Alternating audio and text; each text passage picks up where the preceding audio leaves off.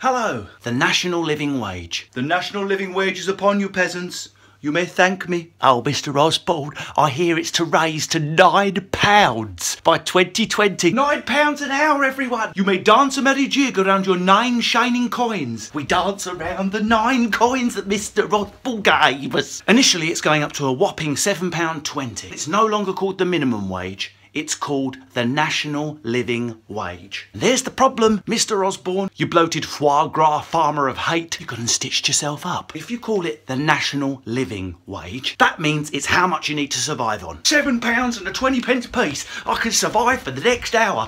I'm sorry I'm so smelly and offensive to thine eye, Mr. Osborne. But you only get it if you're over 25. My mum had two kids by the time she was 25. She works as a dinner lady, a cleaner, and a prosser. Sorry, not a pros. I shouldn't have said that. That means, Mr. Osborne, you admit that someone being paid less than £7.20 cannot live. Therefore, if you are 21 to 25, we expect you to die, Mr. Peasant. I'm 24. I'm feeling so weak.